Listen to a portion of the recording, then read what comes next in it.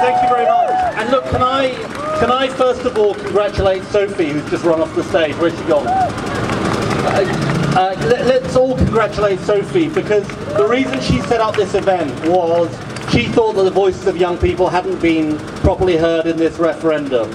And it is quite a thing to organise something in Trafalgar Square. So let's hear it for Sophie, everybody.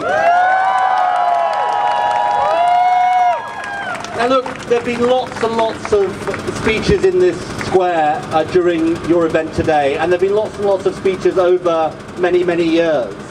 And in all of those times, all of those calls, it's been about three things. It's been about voting or acting for yourself, acting for others, and acting for your country. And I want to talk to you about those three things tonight. First of all, this is about you. I'm urging you to vote Remain for you because the opportunities that Europe gives this generation, this younger generation, to work elsewhere in Europe, to study elsewhere in Europe, to live elsewhere in Europe, my generation didn't have those growing up because half of Europe was behind the Iron Curtain. So first of all, vote Remain for yourself. And don't be embarrassed about that because all the great causes have been about self-interest.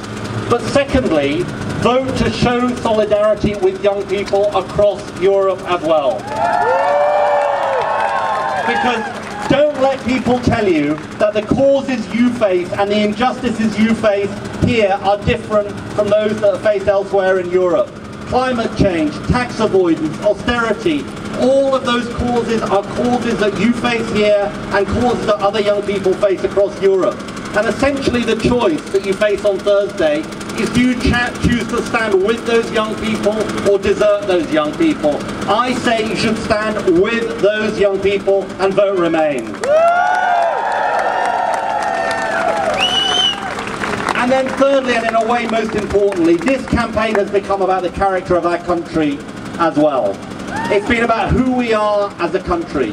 Are we a narrow-minded Nigel Farage country? No! Because that is the politics that Nigel Farage has been practicing and preaching in this campaign. And you know, look, the poster, his poster, has become a symbol of his campaign.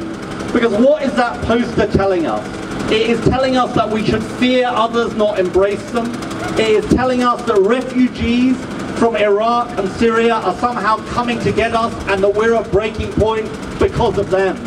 Now that is not who Britain is. We are better than this as a country. Yeah!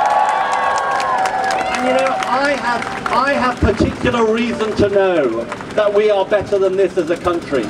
Because 76 years ago, it was my dad and his dad who were in exactly the same position as the refugees in that poster.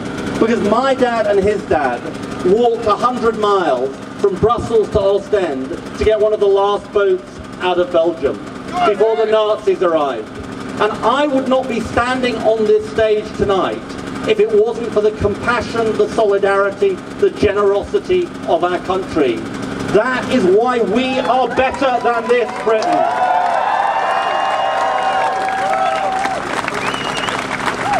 And so, friends, for all of those reasons, for yourself, because you want to stand with other young people across Europe, and because you are standing for a statement of who we are as a country, I say vote Remain. And I say this to you finally as well. You know, I thought the general election uh, last year It didn't go so well, as you might have, uh, uh, as you might have gathered. But even though that general election was so important to me and I thought so important to this country, this is even more important than a general election because this is an irreversible decision. This isn't a once every four or five years decision. This is a decision for a generation. That's why your voice matters. And I say to young people, even at this late stage, don't let older people make this decision for you. Turn out and vote in this referendum. Because